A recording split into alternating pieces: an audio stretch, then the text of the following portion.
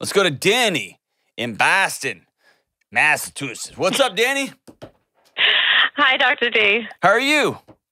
I'm good, doing good. How are you? Just saving the world. I, you know what? I probably overstated that a little bit. I don't think I am saving the world, but we're having fun. How about you? I, I'm doing good. I got I got to talk to Kelly when she called me, which was probably The worst. so far like the most exciting part of this, and I'm really excited to talk to you. Was so she mean to you?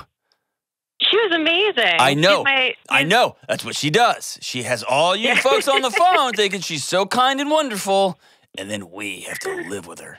Just kidding. She's incredible. She's like the best. Kelly's the best.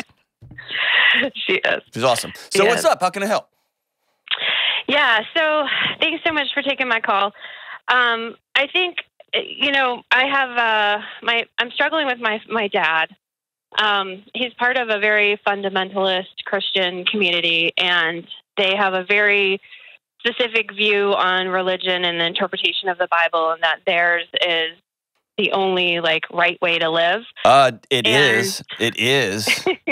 there are no other ways. They figured it Exactly. out. Duh. But go ahead. Yeah, and so I think as I've gotten older and I have children, and I have, I have, you know, I left that community when I was in my early twenties. Um, it, I'm struggling to have a relationship with him. He's, he's, you know, he's always been there for me. Like he'll talk to me, but every conversation is about, you know, it's, it's he always gets, he always gets the little snippets in, and it's, it just feels like a constant reminder that he thinks I'm not living my life the way or raising my kids the way that it should be and that he has to Mm. save me. So and I Gotcha. and I'm just really struggling with that conversation with him. Can I just tell you, I hate that for you. Ugh. Thank you. Um, so go back to childhood. You left this group. Why'd you leave? Was it a belief Um, issue? Was it the way they treated you? Was it the way the things they said? Why'd you leave? So um so so I I was so uh, why did I leave? That's a good question. Um they they um that particular Just say it out loud. Say it out loud. Say it out Yeah. loud. I know it's hard to. I know. Hey, I know that Yeah. I'm poking at some deep, deep stuff. As much as you feel comfortable, just say it out loud. Yeah. So they do practice shunning. And um, at the time I was Shunning, married, shunning, yep. So, like, if you, like Dwight and, and. Jim, like shun. yeah, just like Dwight and Jim. Yeah. Listen, I've Yeah. worked with all kinds of religious communities my whole career. I've never. I'm not. I'm not mocking. I never heard of this. So what does it mean? Like Okay. we turn our back on you? Like we shun? um, um, it's, yep, it's intended to be, to be loving. Like, your, your, your, one of your flock has gone astray and, you know, and they'll, they'll realize that they made a mistake and come back into your loving arms kind of thing. I thought Jesus went left the 99 and went and got that other one. yeah, that's, that's a good, that's a good point. Yeah. Okay, so, So- okay, so back that thing up. So you no, I shouldn't say that out. Like don't you don't back that thing up. I'm backing up. Um, so they shunned. Yeah. So I, I basically, so I was married. It, I was married very young. I Okay. found myself in a not great relationship. Um, so I left, but I basically preemptively, personally cut off almost all ties because I knew the other option was they were going to sort of do it for me. So I, when I was 25, I, I essentially like completely started over. Now my, my, my dad or my, like my, he never, he never cut me off. So I, I still have that rela- yeah. I still have that relationship. Um, but you know, it, it's, um, it, you, you know, like, you know, they, they feel that you're making a tragic mistake, right? And that it's their job to try to And so the, the save you. Like you, that's in the back of your mind in every conversation. so the shunning, like you you got a divorce. You got married young, and there was some things in that marriage that didn't sit well with you. You got divorced, and you knew by making this decision to leave your husband and do something else with your life, that was also going to cost you your faith community. And so instead of Yeah. going through their trial or whatever, um, Yeah. rigmarole they're going to put you through, you just said, deuces, I'm out. My guess is there's more to it than that. That you left for bigger reasons than just they were going to be mean to you. And so you, you preemptive, you shunned them before they shunned you. But here, here, Um, here- here's what I'm asking. yeah. So there's, we have belief disagreements with people.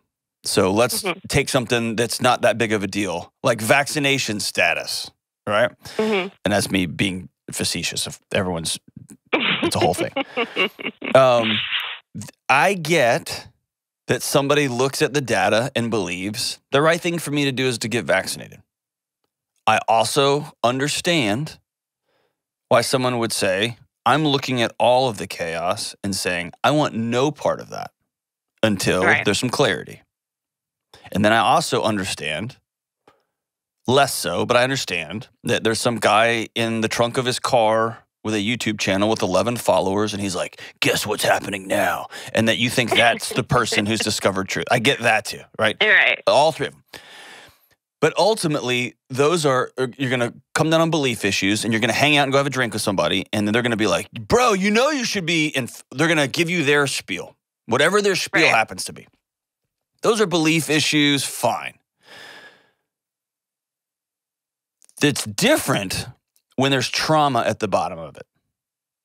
So we've heard about when it comes to vaccinations that African American community might have some challenges because they remember the Tus- Tuskegee disaster. Be Mhm. like, hey, we're not walking into some emergency authorization use thing. We've done this before, and y'all used Right. it to poison. I mean, you know what I mean? yeah, or yeah, in, yeah. in your case, you get to like this isn't just about hey, you should be going to this church or we're going to that one. If there's trauma at the bottom of this, if there was things told to you about how women were or should be, or the way you were treated, or the way you were told to shun people who were hurting into loving them, whatever the things are, if there's a trauma basis here, your body's going to get set off. And that's different than a belief difference. You hear what I'm saying? Yes. When somebody believes, I need, like, we're having a medical disagreement on the vaccine, that's one thing. When somebody believes the government's trying to kill my kids, it's a different response. Whether I believe them or not, I get that response is visceral. Right. Or someone doesn't have the vaccine. I believe my neighbor's trying to murder my family, right? I get that there's a there's a visceralness. So where where are you on this? Is it just a belief difference, or did you walk out of this thing because there was some trauma there, there was some hurt there? Um, I think so. Yeah. So I don't. I don't know that I. I don't. I don't know that I walked out. Um, so, so the marriage wasn't great. Like, um, there was anger issues, Mhm. but um, which I I didn't. I I wanted no part of. I wanted to you know before it escalated. So I I that was part of it. But um, The fact, hey, listen, think. the fact that you think you owe some knuckleheaded podcaster on the radio an explanation as to why you left your marriage that many years ago tells me you've got some that you were told that your job is to make sure everybody's okay and everybody approves of your decisions before you move forward. Yeah, I mean, my dad was he was pretty angry growing up. He never. That's, that's all you got to say. That's all. Hey, that's all you got to say. Yeah. That's all you got to say. So the when I'm talking to you about what this what this group left in you and on you, your body's responding right now, right? Yeah. Yeah. Yeah. Okay. So let's fast forward to the original question that you asked me about. Here's why we're here. This isn't a matter of like, Dad, I don't believe in shunning. I believe in hugging. And we're just gonna have to, we're gonna have to, we're just gonna have to call a spade a spade on that one. This is not that. This is your dad is trying to bring you to something that he thinks in his heart is gonna help you yes. and that your body knows hurt you. And by your by the tears being so close, it still hurts you. It's still in you, Yeah. right? there's still unresolved trauma there that you and I could probably go hang out and have a beer and talk about it for a long, long time, right? Yeah. The point here is this you do not have to put your body in that situation. And you don't have to put your kids in that situation because that's the other part is you don't want your kids to experience what you experience. True. Yes. And so thing. the big magic word here is boundary.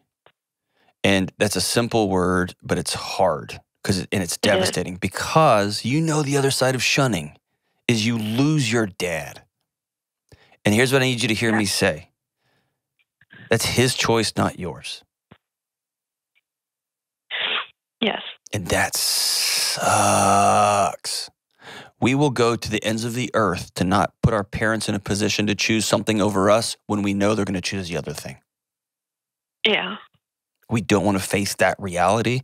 So we just put up with it and put up with it and put up with it. And then all of a sudden, we've imparted that on our kids. And then they do it and then they do it and they do it. And then it gets passed on generation after generation after generation. Yeah. And so somebody has to stare this sucker down and say, if you bring up this again, you're my dad. I- love you. Um, it sounds to me like you've got some stuff you need to work through with a counselor about your dad. Probably. Not probably, 100% chance. 100% chance. Are you married now? yes. Yes. Good guy? Amazing. I'm very blessed. If he was behind you and heard me say, you should probably go to a counselor and get work on some of your dad's stuff, he would probably be nodding his head vigorously, right? he would be very supportive. Yes, he, I'm sure he would. So for you, go do that. Okay. Okay. And there's going to be some stuff about your dad you're going to have to face. It's going to be ugly and messy and gross, and you don't want to think about it because you love him. And he is a good guy. Yeah. But you got to stare that stuff down because your body knows. Yes. And when he calls, your heart beats a little bit faster. And when he says he's coming over, your heart beats a lot faster. And you go a little bit more limbic and you're a little bit more tense and you hold cups a little bit tighter. And all of that energy and electricity gets passed on and passed on and passed on. And I want Yeah. you to be able to sleep. And we we did have um, a conversation, and it was exactly kind of how you described. Like I just I just snapped. Like I com- I felt like after it was over, I was like, what what being took over my body? Like words were coming out that I didn't even know. like. I like things I felt that were buried so deep. I don't know that I ever acknowledged. And I Mhm. I asked him. I was like, I can't like I can't have. I can't can't keep having these conversations with you. Like I need to have a relationship that revolves that's more than this. He's had some health issues, so it's it's been him almost dying, or it's been you know this for the past like three years, and um, he he he he doesn't he doesn't under he's very and like he tries to understand and he just but he doesn't. And i and i if i feel like i tried i'm not good at boundaries. I know that. I feel like i tried really hard and now i'm feeling so uncomfortable because i feel like there's this unsettled problem between us and mm-hmm. i don't do that So I don't do listen, that well there is there is an unsettled problem between the two of you, and you can't fix it. And that's the that's the, the heartbreaking part. You can't Yeah. solve it.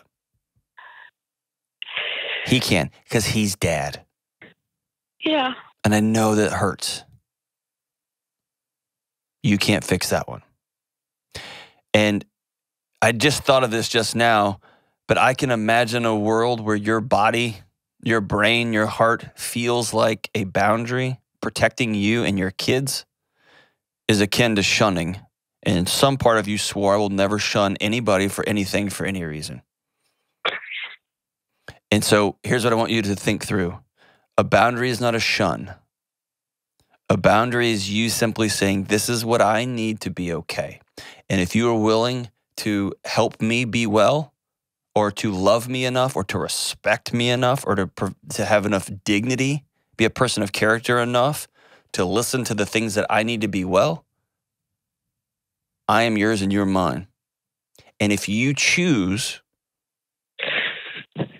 your things over the things I'm telling you out loud, I need to feel safe and feel well, then you are choosing to not be a part of my life. And that breaks my heart, but that's your choice. You see how everything about this is his choice, Yeah. except for the the boundary, except for your choice to take care of you and your kids and your husband. Right.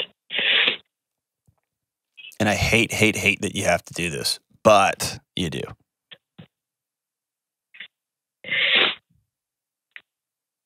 Yeah. I hate it for you.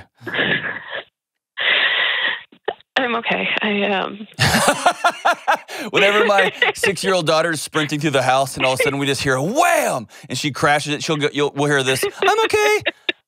yeah, exactly. She's clearly not okay. She doesn't want us to get up and go see what she's trying to sneak into the other room.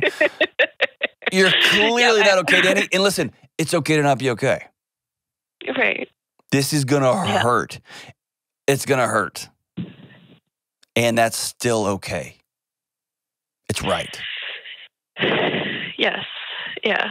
So here's what I want you to do. You've heard me say this a million times. I'm going to say it a million more times. I want you to write a letter to your dad Okay. about everything, all of it. You can even have sections called good stuff and bad stuff. I don't care what it is. As a part of the letter at the end, I want you to say, So now what? And that's when I want you to articulate after you've written the good stuff, the stuff that you love about him, after you've really, I want you to, like you just said, I felt like I was possessed, something took over me. I want you to bring that, I want you to let your limbic brain take back over for a minute. I want you to go there. yeah. And then I want you to write down so here's what's not acceptable in my life anymore. I'm choosing to be well, and here's what that's going to look like for me. And then I want you to read this letter out loud to your husband Okay. because he doesn't know it all, does he? No. Nope. I want you to read it out loud to him. Okay. And then I want you to call a counselor and make an appointment. Yeah. Okay. Promise? I mean, the I Promise? might need the Promise? counselor Promise? to help me write the letter. it's the whole idea is terrifying. So it is. I It's, no, I start see with what you're that right. one first. You may have to write two or three. You may have to write two or three. yeah. Okay. You may have to, yeah. there's a moment that's going to happen that you're going to realize your dad is somebody who is intentionally disregarding your requests for how you can best be loved. yeah. And that disregard is violence, it's immaturity, and it has to stop. And most of us hope that our parents will be the ones to stop doing violence. And often we're the ones that have to put up the boundaries and say, no more.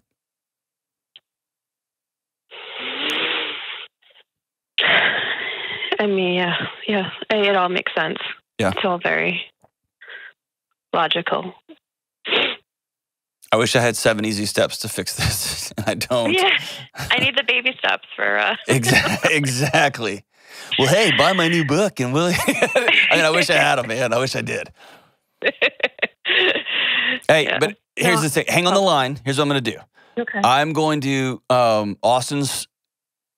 Kelly's at home. She doesn't work on these days. Just kidding. She's actually not. She's actually sick. She's not doing. She's not. She's not feeling well.